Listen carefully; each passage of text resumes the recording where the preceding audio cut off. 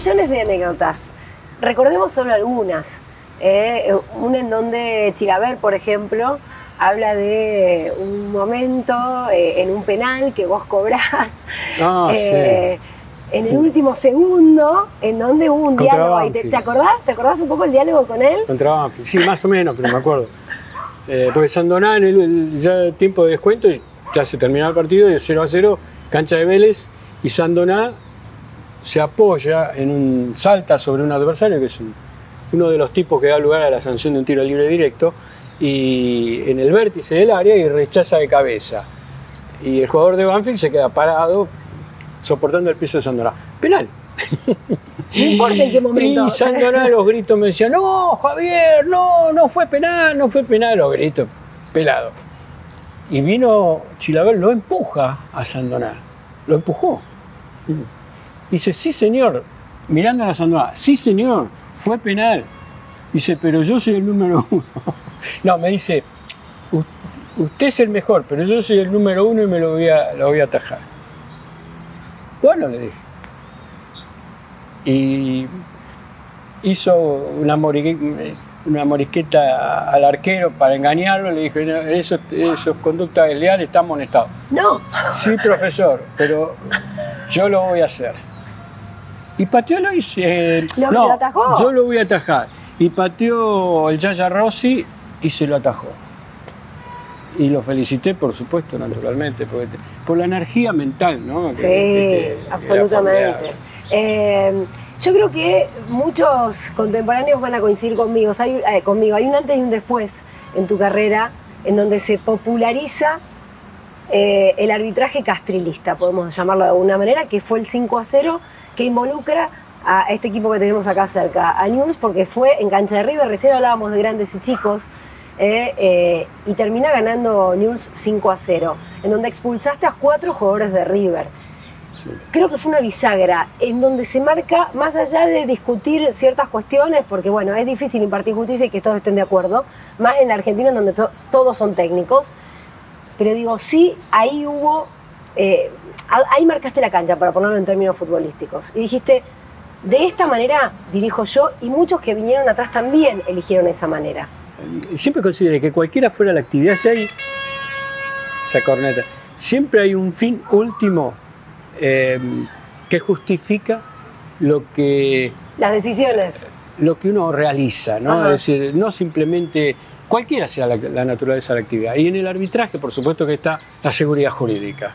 Y para que haya seguridad jurídica tiene que haber previsibilidad. Y para que eso exista tiene que haber coherencia y tiene que haber una mm, eh, igualdad en el tratamiento ante la ley. Entonces siempre eso es lo que yo custodié eh, contra viento y marea. Y muchas veces, eh, por la pasión que despierta y la fuerza de sentimientos que despierta el fútbol en nuestra sociedad, eh, en el medio de un partido y más por parte de los jugadores, que son los que más este, a veces lo sufren esas presiones, eh, lamentablemente trae consecuencias. Y a mí me las trajo.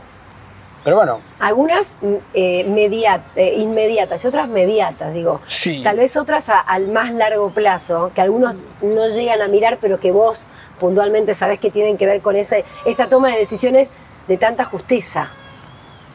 Y yo creo que, a ver, eh, eh, Molesta, el, el molesta ser coherente y vivir de esa manera, eh, y- y intentarlo al menos, ¿eh? porque digo, siempre todos tenemos Sí. nuestro, nuestra lucha interior y obviamente cuando se bifurca el camino y uno tiene que elegir entre el camino del deber ser y el de la comodidad o la conveniencia, ¿cuántas veces dudamos? Sí, es verdad. Entonces el árbitro tiene que tener bien en claro eso porque está tratando con intereses de terceros Y además tomar decisiones en segundos, y en en segundos. Por eso, de antes de tomar las decisiones, antes de salir, uno tiene que hacer una, imaginarse un escenario y decir, no, yo tengo que elegir, en caso de que ocurran esto, esto, esto, yo tengo que elegir ese camino que es el camino del deber ser. Y eso te trae consecuencias, obviamente, porque este, incluso ser coherente te lleva a tomar decisiones en contra de tus intereses económicos. Y eso no solo me pasó en el, en el arbitraje, me pasó a lo largo de toda mi vida. Claro. Es decir, las decisiones que yo siempre tomo me traen a la corta o a la larga perjuicios económicos. Pero tranquilidad hacia adentro, ¿no? Yo lo que digo es esto, de que el respeto de la gente en la calle no se compra en la farmacia y que vale la pena. ¿Qué te dice la gente en la calle día me saludan. El solo hecho de, de que me digan si lo habré puteado. el solo ¿A hecho qué que me digan. árbitro no putearon? Sí. Perdón, a a Bueno, preguntemos Por eso revés. digo, este, eso justifica todo. ¿Quién te puso Justifica que te insulten, que te, Sí. que, que te, bueno, que, que- que te difamen. ¿Se eh, escuchan los insultos en la cancha? En la cancha, sí, claro, Sí. Se, se escucha todo. Todo. ¿Y quién te puso sheriff? Fue en un videoclip que hicieron para vender un River y Boca. Me muero. Eh, se tenía que vender, en aquella época había un solo canal, bueno, estaba fútbol de primera que pasaba la noche, Sí. entonces todo, durante toda la semana decían el gran duelo. Y habían caricaturizado a los jugadores, eh, ponían la foto con el cuerpo de eran vaqueros del lejano oeste. Oh, El gran duelo, todos con las, las pistolas que se iban a enfrentar en un duelo. Y, y como me habían designado ya para ese partido, al final de todo yo aparecía con un gorro, con una estrella, y ahí viene el sheriff. Y va a estar el sheriff. Y, y eso caló muy profundo, principalmente en países como Chile, ah, eh, Paraguay, Ecuador, Colombia. A partir de ese momento, aparte, hay no se puede soslayar que en la década del 90 el fútbol argentino era un producto que se vendía no solo a Latinoamérica, a todo el mundo, porque era uno de los mejores mercados, era uno de los mejores, técnicamente era uno de los mejores lugares. Hago un parate acá. Eh, década del 90 estamos hablando, si hablamos del fútbol internacional y el reconocimiento, tenía un nombre y apellido. Diego Armando Maradona, a quien también echaste. Sí, Esa Sí, anécdota claro. es, eh, todos la recordamos.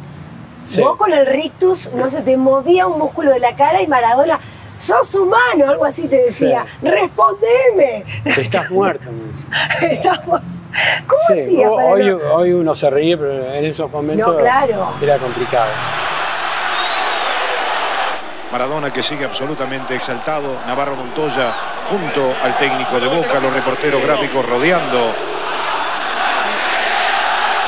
a los jugadores de Boca. Mientras allí continúan los cánticos agresivos de los hinchas de Boca hacia el señor Javier Castrilli. Tranquilo, ¿por qué? explíqueme por qué, explíqueme por qué, a ver. Maestro, pero usted que está muerto, no está muerto, explíqueme, por favor, se lo pido. Pero estamos hablando como hombres y como seres humanos. se lo- no te va a contestar, Pero, pero, no te va a contestar, no me va a contestar, es un botón. hermano. Hermano, no te lo digo, no te lo puta, no te lo no te lo. Este, pero bueno, él había tenido, que, te- que lo sacaba. No te va a contestar. Todos nos había cometido un exabrupto que, que yo entendí que era para expulsión y mm, porque yo vaciaba a las personas, las vaciaba de su contenido histórico. Sí. Era el mismo José Pérez que Enzo Francescoli. Y yo ni siquiera, por eso digo, así como doy nombres, también digo, ¿por qué? Porque la prensa puede ir a preguntar cuando yo doy nombres. Claro. Tranquilamente. Claro. digo, uno hace historia, ¿no? Digo, estoy contando cosas de la historia. Claro. Yo le- a los jugadores eh, no los tuteaba, pero no solamente no los tuteaba, lo trataba de señor. No le decía número 10, el número, mucho menos Francesco ni mucho menos Enzo. Señor, señor. Entonces eso generaba también, eh, porque tenía un contenido simbólico. A José Pérez, que no lo conoce nadie, pasaba por el lado mío, señor. Y a Diego Maradona, señor. Entonces José Pérez escuchaba, ah, me está tratando igual. Igualdad. Entonces después veía en, la- en los fallos que también se traducía en una igualdad en el tratamiento técnico en el juego. Otro tema, causa de Estado Pablo Pérez, al día de hoy. Eh, ¿Había un Pablo Pérez en aquel momento? Bah, Yo creo que también lo no. tienen comprado, ¿eh? a No, Pablo, Pablo Pérez, Pérez- muchas veces hace cosas. Es un santo. ¿Es un santo? Sí. Mirá, Pasucci, Junta. ¡No! nah. Eh, Izquierdo, Pablo Pérez, Pinola, son santos. Son santos, ¿no? Esquiavi, también lo puedo poner a Schiavi en esa. Y Schiavi también, porque aquella es ciertamente más contemporáneo. Pero digo, Pero algunos árbitros ya En aquella época vos vos tenías- Sí, aparte, por el tema de la convertibilidad, porque Sí. también cuando uno analiza tiene, tiene que contextualizar. sí. ¿sí? Entonces vos decís, había un, un contexto histórico, político, económico, social. Sí. En lo económico estaba la convertibilidad del uno a uno, hacía que los jugadores que le daba lo mismo irse al exterior de Europa que quedarse en la Argentina. Entonces, ¿para qué sufrir eh, el destierro, el, el destierro, la, la- Sí, la- la- el- el- extrañar el- la tierra, ¿no? Es decir, este, ¿para qué sufrir eso? Se quedaban acá por prácticamente por el mismo dinero, eh, incluso que ir al mercado mexicano. Entonces, ¿eso qué generaba a su vez? Que los planteles se conservaban los nombres durante varias temporadas, Exacto, se, se jugaban los mismos jugadores. es verdad. Y a la rivalidad tradicional era potenciada por la rivalidad individual. Entonces vos tenías a todos juntos. Por eso el fútbol argentino tenía la riqueza técnica que tuvo, distinto de lo que ocurre ahora. Ahora hay un vaciamiento técnico producto de, de- de- de la migración de los grandes talentos. Ya Mm. este, los visores, los detectores de talento están recorriendo permanentemente el interior profundo de la Argentina para llevarse a Chicos los muy mejores. jóvenes, Ya de muy chicos los llevan para. Europa o los llevan ¿Qué para opinas México. de- del bar? ¿Cuánto puede, viste que está por venir, lo sabés? ¿Qué opinas? ¿Crees que le va a hacer Mira, bien a la Argentina? Yo digo, el bar es como las redes sociales. Esto de tener la tecnología al servicio de la verdad se tiene que aplicar en el fútbol. Desde ese lugar, la tecnología es un límite a la corrupción.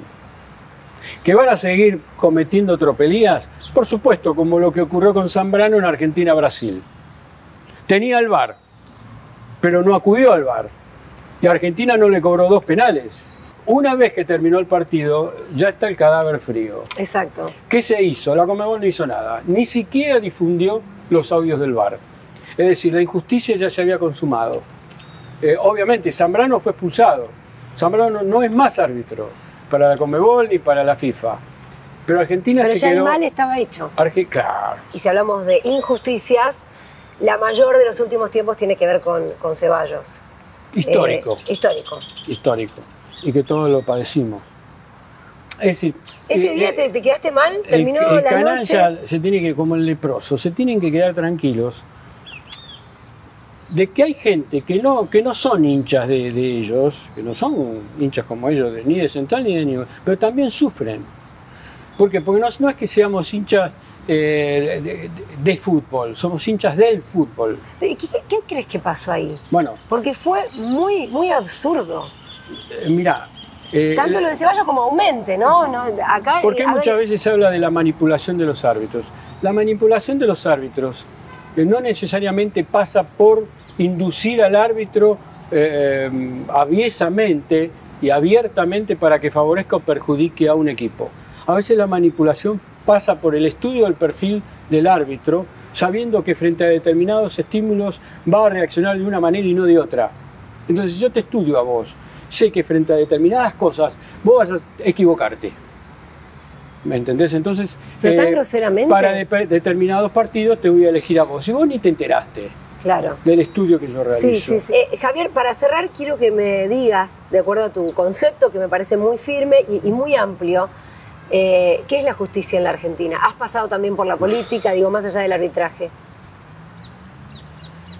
¿O qué es la justicia? No en la Argentina. ¿Qué es la justicia? Que es la justicia en la Argentina. Bueno, a ver, Y es el lugar que todos sospechamos.